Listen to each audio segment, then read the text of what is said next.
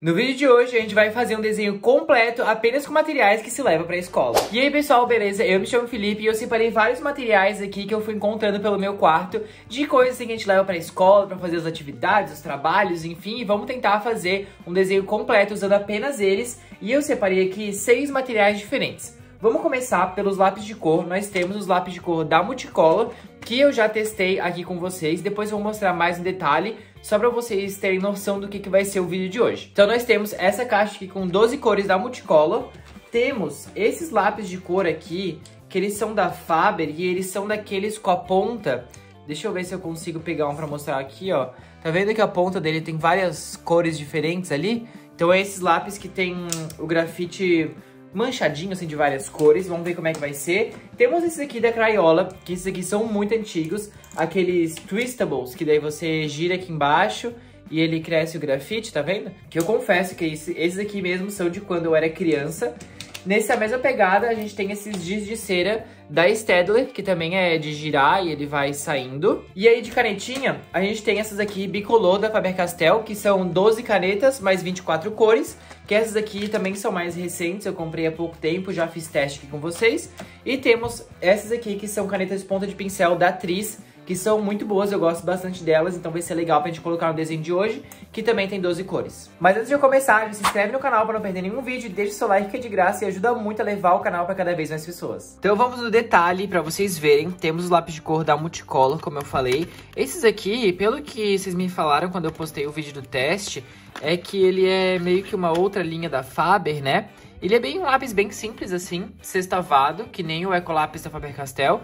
E aqui vem só escrito Eco Multicolor. E aí são as 12 cores, é um lápis de cor bem básico, assim, sabe? Eu lembro que na época eu gostei dele, eu achei eles bem bons pelo preço, né? Eu não lembro quanto eu paguei, não tem mais aqui a, a etiquetinha. Mas enfim, vocês podem ver o teste lá, que tá tudo bem certinho. E aqui tá escrito, né? Ponta resistente, fácil de apontar e cores fortes. Eu ainda nem sei o que eu vou fazer com esses materiais aqui, né? O que, que eu vou desenhar, enfim, como é que vai ficar. Esses aqui da Faber, eu lembro que quando eu comprei, eu achei que ia ser o máximo, assim. Mas aí eu comecei a fazer a pintura e eu não entendi muito direito qual que era a ideia deles, porque não ficava muito bom. E aí aqui, vocês podem ver a ponta, ó. Ela é toda manchadinha de rosa, tem um pouco de roxo, uns tons mais escuros. Tem até aqui um bem grandão, que é da Tris, ó que ele também tem uma ponta bem colorida, desses são várias cores. E esses aqui da Faber, deixa eu até ver quantos são. São 12 cores também. Tudo nessa pegada da ponta manchadinha com várias cores. Aí, que nem eu mostrei, esses da Crayola, que esses aqui são bem antigos. Eu lembro que a pigmentação dele não é muito boa. Então, não sei se eu vou usar ele muito. Eu vou, a gente vai testar um pouquinho no papel pra ver como é que vai ficar, né? Mas só pra gente relembrar aqui, ó, e você vai girando aqui embaixo e a cor vai saindo. Ele é bem fininho, né? Mas eu acho que é resistente. É só não botar muito, muito do, do da cera pra fora do lápis, que daí ele se garante melhor, né?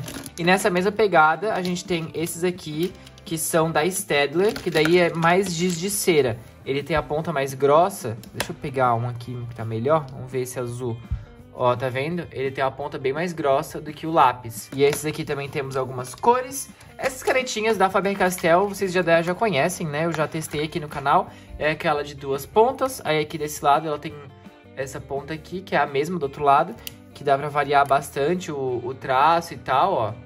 E elas são bem boas, são a base de água, então acaba ficando um pouquinho mais marcado mas tudo bem. E aí, essas canetas aqui da Tris, deixa eu botar as coisas mais pro lado. Essas canetas aqui da Tris eu também já tenho há um tempo, eu gosto bastante delas. Elas têm duas pontas, uma que é uma canetinha, uma ponta mais fina, tipo uma fine liner, alguma coisa assim, que também vai ser bom pra gente fazer o contorno. E do outro lado, uma ponta brush que a gente já conhece, e elas também são a base de água. É, eu falo que são a base de água porque assim, é muito difícil a gente levar pra escola um marcador à base de álcool, né? Tipo, Copic, essas coisas assim. Eu acho que não é algo que se leva muito pra escola, né? E aí, pra fazer o desenho, eu vou usar esse caderno aqui, esse sketchbook, o Mix Media, que eu acho que vai funcionar pra gente hum, usar todos esses materiais diferentes, né? Bom, vou fazer o rascunho quieto, então, aqui. Ah, eu falei que a gente ia testar, né? Peraí. Vamos só... Deixa eu... Eu vou pegar uma folha, vocês me desculpem, mas eu vou pegar uma folha que já tá mais manchada aqui desse sketchbook aqui, ó. E vamos só... Eu não vou testar todas as cores, mas vamos ver como é que vai ficar. primeiro alguns materiais que a gente não testou ainda. Então, esse lápis aqui da Crayola, Ó, ele é bem firme, assim, o tamanho dele também é bem bom. E pinta que nem um lápis de cor, né? Ele também parece um pouco um giz de cera, essa textura no papel. Mas ele tem uma pegada, uma sensação mais de lápis de cor mesmo. E as cores são bem vibrantes, assim, né? Esse aqui é um vermelho bem escuro, olha, já um vermelho meio rosado. Vamos pegar uma cor mais clara pra ver como é que ele fica. Ó, esse aqui, ó, que é um, um, um salmãozinho, assim. Vamos ver. E esses são lápis bem antigos, tá? Então, pra pigmentação deles tá assim até agora. Tipo assim, é coisa de mais de 10 anos, tá? É, tá guardado ali, eu não usei mais. Então, acho que conservou super bem. Agora, vamos ver esses giz aqui, que também são de girar. Então, até com a ponta meio zoada, assim. Ah, daí, ó, tá vendo a diferença da textura de um pro outro? O giz, ele parece que não, não entra tanto na textura do papel. Tá vendo como ele fica mais manchadinho com branco ali, com vários pontinhos? Ó, eu apontava também algumas pontas, ó, pra ficar mais fácil de usar. Mas ele tem uma pigmentação bem legal e desliza na folha. Ele não é aquele giz de cera escolar super seco, assim, sabe? Gostei. Vamos ver o que eu vou fazer com isso, né? Ainda nem sei. Agora aqueles lápis que tem a ponta toda manchada. Eu não sei qual que é a ideia deles com isso, porque assim, parece que o desenho tá mal acabado, sabe, ó. Parece que alguém riscou por cima. Enfim, vamos ver aqui alguma outra cor. Vamos pegar esse rosa aqui que a gente tinha visto antes. Olha só. Não sei muito qual é a ideia disso. Talvez pro fundo, alguma coisa assim do desenho. Talvez fique legal. Tem aquele bem grandão da atriz, ó, que são todas as cores. Sabe, não dá muito pra pintar o desenho com isso. Parece confete, sabe, de bolo. Vamos ver se eu escrever Felipe. Enfim, sai todas as cores, né?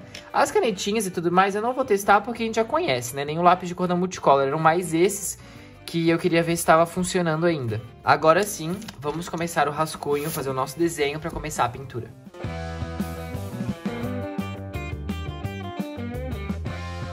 Ó, gente, o desenho ficou assim. Eu quis fazer tipo uma menininha que estuda sobre o universo, os planetas, porque esse desse lápis de cor, que tem várias cores aqui, me lembrou isso. Enfim, veio daí a inspiração pro desenho de hoje. Aí pro contorno, eu vou usar uma caneta preta, que vai ser daquela da atriz, que é essa daqui. Eu acho que eu vou usar a ponta fina, que não diz qual é, os quantos milímetros que é a ponta, né? Mas enfim, eu acho que vai funcionar, vamos ver. E aí, se não der, qualquer coisa eu uso a ponta de pincel mesmo. Gente, é bem boa essa caneta, tá? Ela é bem firme, assim, na, na hora de fazer o traço. Eu só acho que ela tá sendo, tipo, um pouco fininha demais. Mas isso é mais de, de gosto, assim, né? Mas ela tá funcionando super bem. Eu até achei, porque eu já usava essas canetas em alguns desenhos, aí eu tava... Na minha cabeça elas já tinham acabado, a preta pelo menos já tava sem tinta. Mas não, tá funcionando super bem. E aí, em alguns pontos, depois que eu terminar de contornar tudo, daí eu vou apagar o desenho e tal. E aí eu vou só reforçar algumas partes para deixar um traço um pouquinho mais grosso, que eu gosto também, porque o contorno, ele também destaca bastante o desenho. Onde você deixa um traço mais grosso, dá tanto para você simular um sombreado, assim, já reforçar, né, um sombreado só pelo contorno, e também já dá mais destaque para o elemento que você contornou mais grosso, né? Então isso também já ajuda a chamar a atenção para certas coisas no desenho. Bom, gente, o desenho ficou assim. Aí eu escolhi os lápis de cor da Multicolor para pintar pelo menos a pele, porque é o material mais um, que eu acho que caberia para fazer isso. E aí depois para o cabelo, para as outras partes, a gente pode dar uma brincada mais com os materiais. E também por isso que eu escolhi essa folha, né? Porque ela tem uma textura que eu acho que vai funcionar muito bem com lápis de cor. Esse é um lápis de cor, esse ele é mais apagadinho, digamos assim, ele é bem mais clarinho. Algumas cores.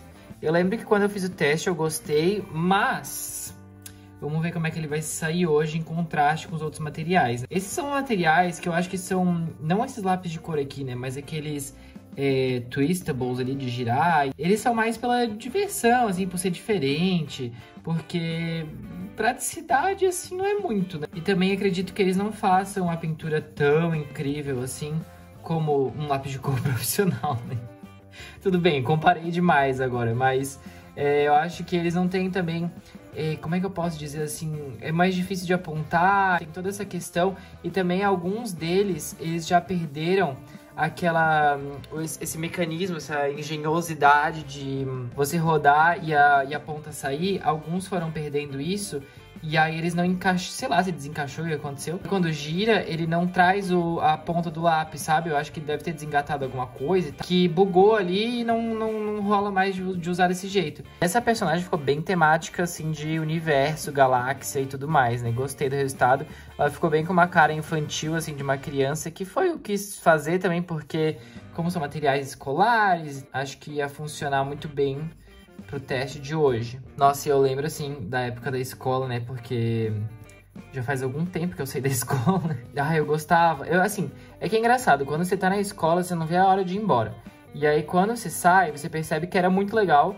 Porque, imagina, você via todos os seus amigos todos os dias, sabe? Sem precisar marcar nada, porque não é aniversário, não é nada. É escola, então você tá lá com seus amigos, aproveitando a manhã inteira. Claro que tem que estudar e tal, né? Mas eu digo que, pô, você tá lá com seus amigos, tem hora do recreio, dá pra jogar bola, enfim, fazer um monte de coisa, brincar. É muito legal. E depois que a gente sai da escola é que a gente começa a perceber essas coisas, porque daí vai cada um para um lado, cada um vai fazer, né, sei lá, se vai pra faculdade, ou às vezes vai até fazer faculdade em outra cidade, em outro país, sei lá. Então essas coisas vão acontecendo e depois que acaba, é que a gente para pra pensar nisso, que a gente começa a perceber. Porque você vai pra escola e meio que aquilo já é parte de, de você, assim, porque você vai todo dia.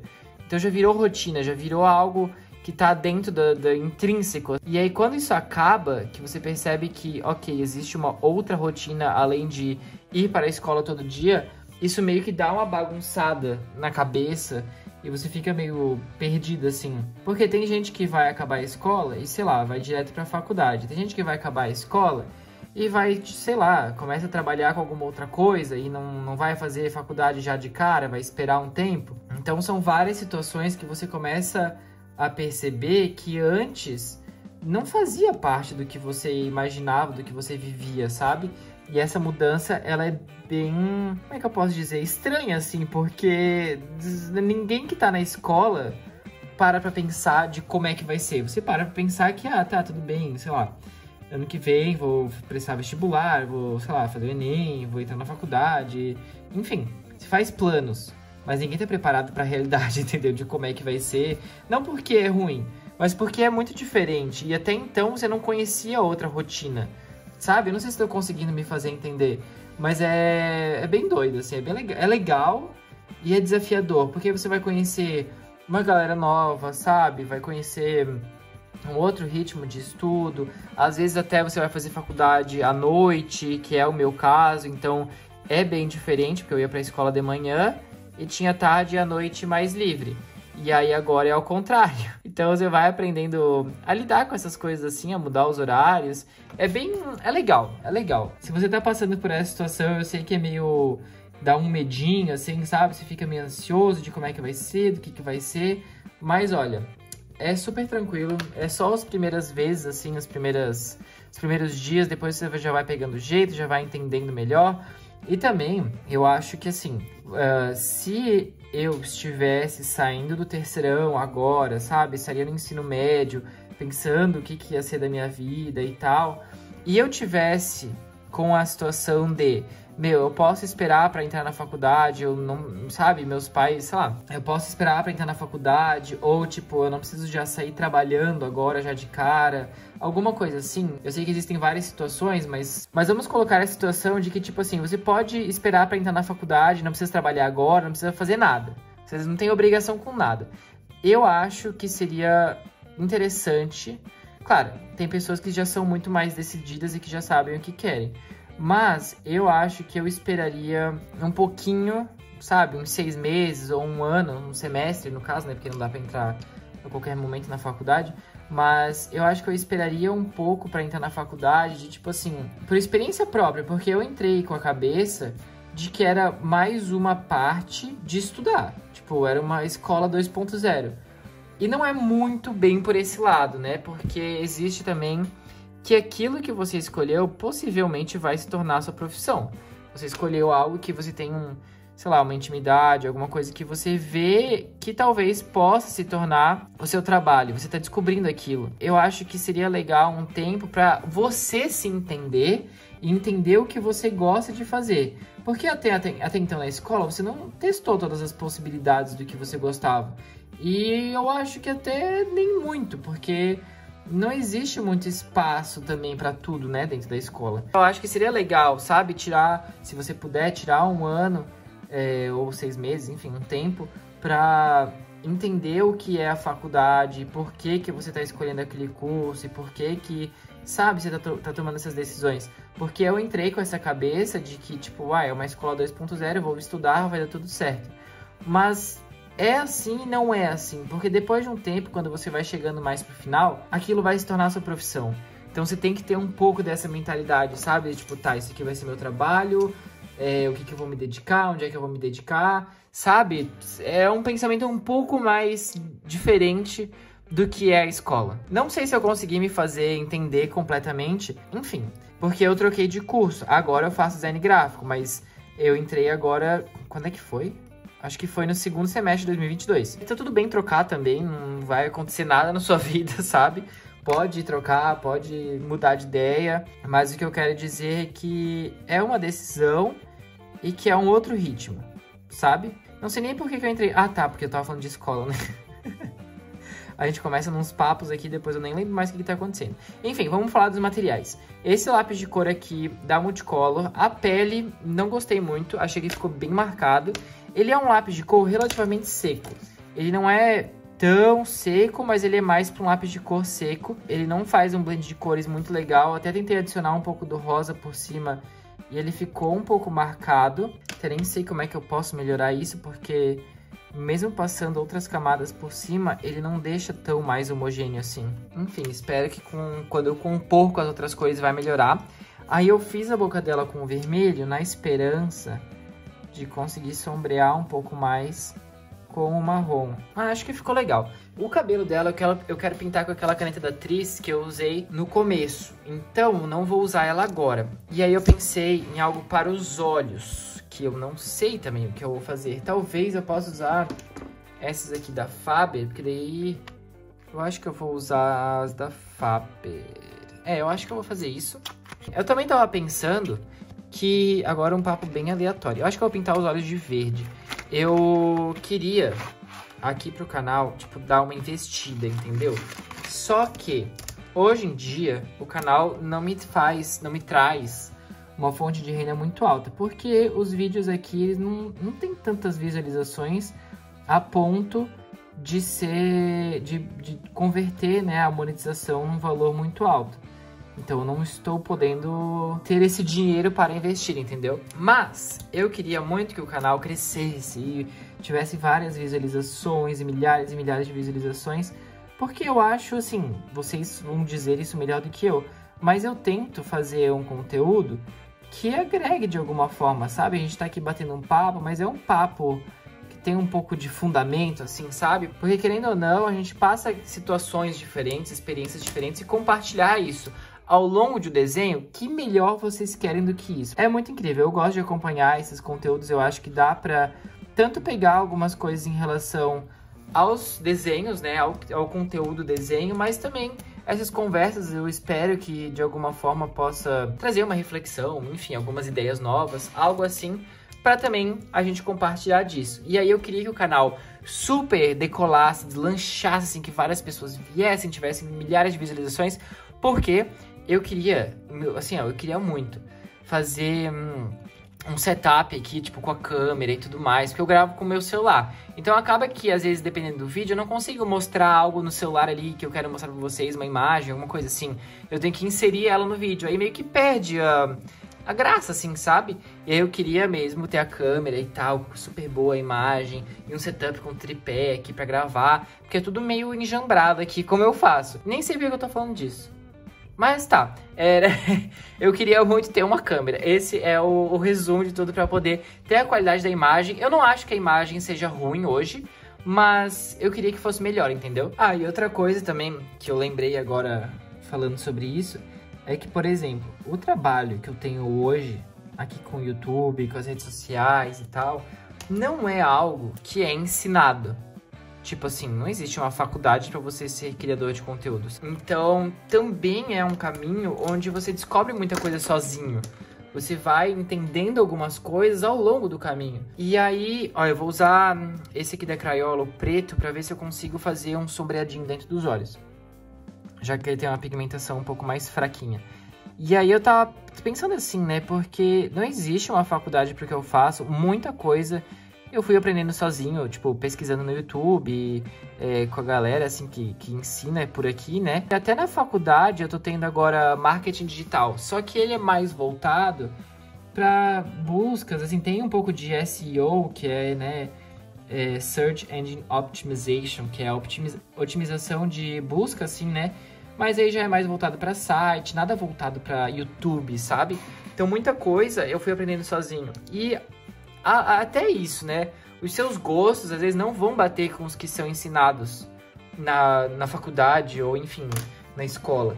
E eu acho que o que eu tiro para mim de estar na faculdade agora, tendo esses ensinamentos em relação a isso, é que o que eu penso, né? O que eu posso tirar do que está acontecendo aqui na aula e aplicar para os meus vídeos, para os meus conteúdos, que eu vou poder melhorar com isso. Então, por exemplo, ah, aprendi sobre Photoshop, Illustrator, isso eu uso para fazer a capa dos vídeos. Ah, essa coisa de marketing e tal. Ele passa algumas coisas que são legais, que daí eu, em vez de eu usar pra, para um site, que seria durante a aula, né, eu acabo trazendo aqui para o canal. Então, tipo, sei lá, o que eu quero fazer para melhorar as buscas dos vídeos? Ah, usar as palavras, tá.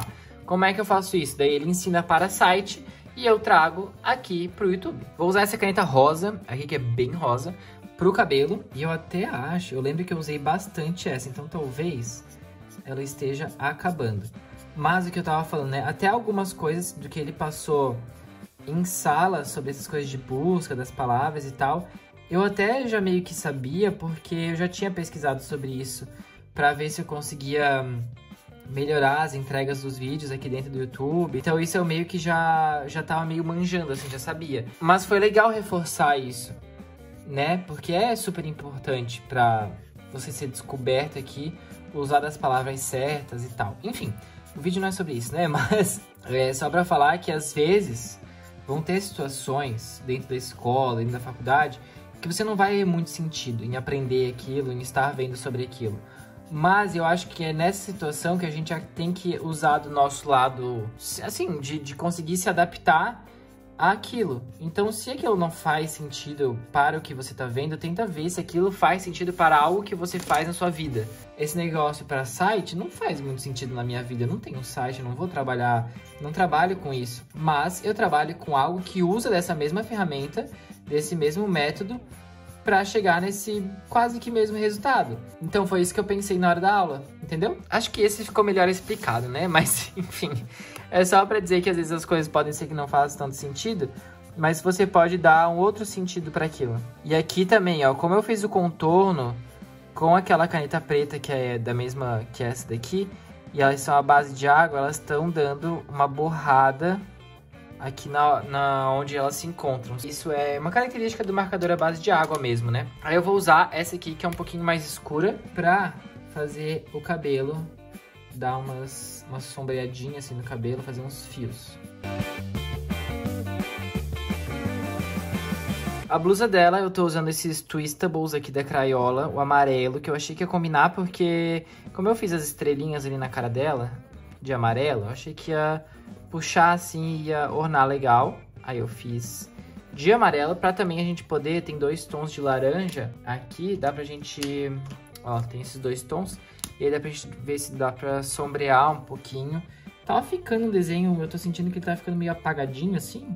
Acho que por causa do rosto, que ficou com uma pigmentação mais clara. Ó, deu pra sobrepor legal. É um blend até que mais ou menos assim.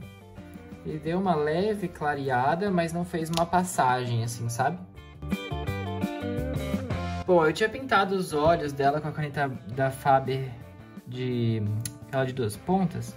Aí eu vou tentar só passar um pouquinho do lápis preto em volta para dar uma aprofundada. Que como ela é a base de água, ela acaba soltando esfarelando assim um pouco o papel, aí tem que ser um pouco mais delicado na hora de fazer a pintura com o lápis de cor.